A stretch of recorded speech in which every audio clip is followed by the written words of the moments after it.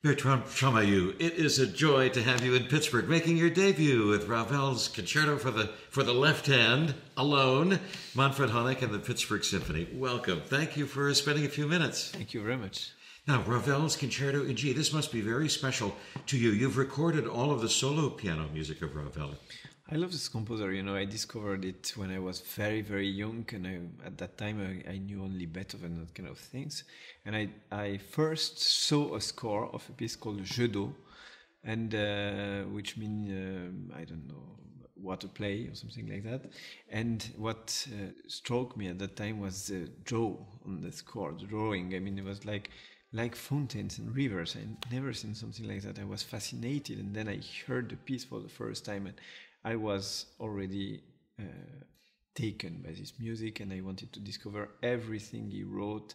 And so it's really something which is now inside my blood, I should say.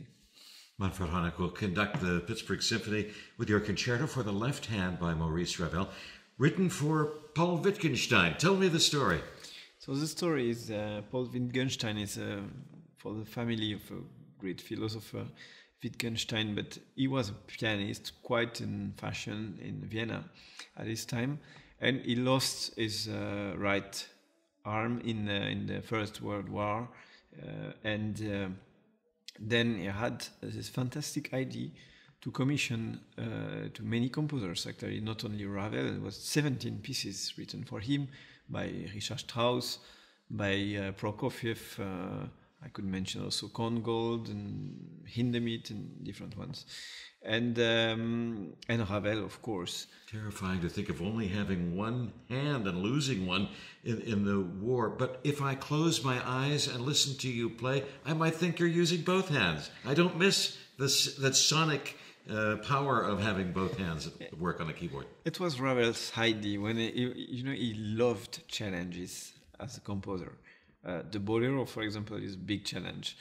This concerto, of course, I think when the, Paul Wittgenstein proposed him to write piece for on the left hand, he jumped on it because uh, this idea, because it was a challenge to for him to make the piano sound like uh, when you close your eyes, you feel there are both ends. And uh, many people have said to me, why not play this piece with two hands if you have two hands and to make it sound but i think if you make it sound too comfortable and too too easy then you lose this kind of effect. You have really to to to use all your body to sometimes go from the low part of the keyboard to the high part and to jump uh, very very fastly.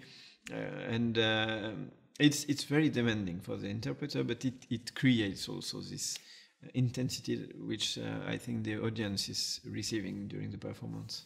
You are bringing us a delicious treat this weekend with your Ravel. And you know that uh, Americans think of Paris as the city of light and this absolutely glittering, romantic place of fantastic food and culture. But we think of it as a place for Maurice Ravel and Claude Debussy, and you bring Ravel to us this weekend. All the best to you. We're thrilled to, to meet you. Welcome once Thank again. Thank you so much.